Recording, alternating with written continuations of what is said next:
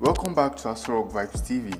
It's been a while. If you are not subscribed, please subscribe and share this video with your friends. In today's video, we'll be looking at a very sensitive topic that requires our urgent attention as Africans.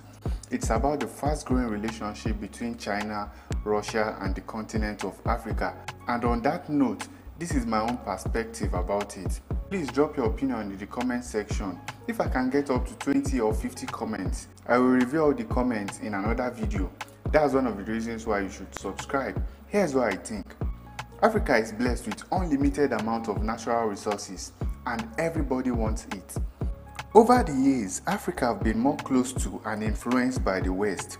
And everyone is saying Africa is being exploited, this and that. We all know this is true, but I blame it all on our leaders. They are enjoying it by the way since it favors them and their family. Now we have Russia and China and their association BRICS, which South Africa is also a part of, acting like they love Africa more and they want the interest of Africa and it seems their plan is working out well.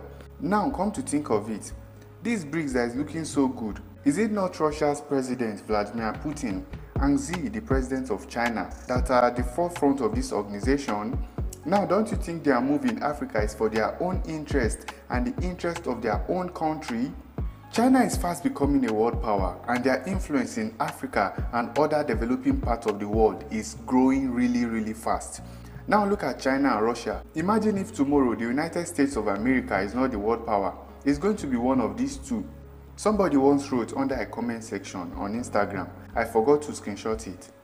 But he said, look at Russia promising you freedom, why people in this same Russia are not free.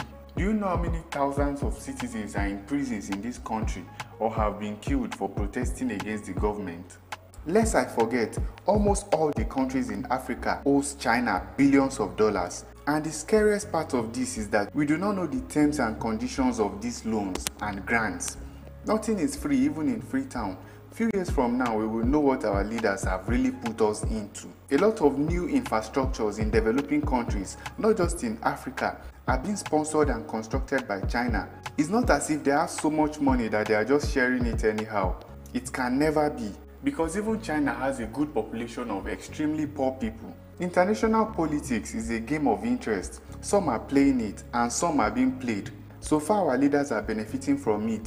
It's not their business. And come to think of it, all of them have houses abroad and foreign bank accounts which they keep their loot.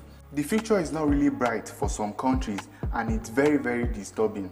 Was it last year or 2021 that we saw in the news that China was about to take over an airport in Uganda because of a loan of how many hundred and something million US dollars? So guys, I'll have to end this video here. Now let's discuss in the comment section. Of recent, we have had series of military takeover in some countries in Africa. What do you think about them? Do you think the freedom is finally coming? Or is going to be like the same thing?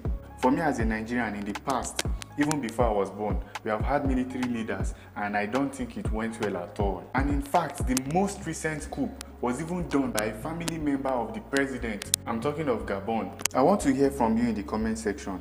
Like I said, if I can get 20 to 50 comments, I will make a video reviewing all of it. See you in the next video where I'll be talking about the longest serving African leaders. Peace out.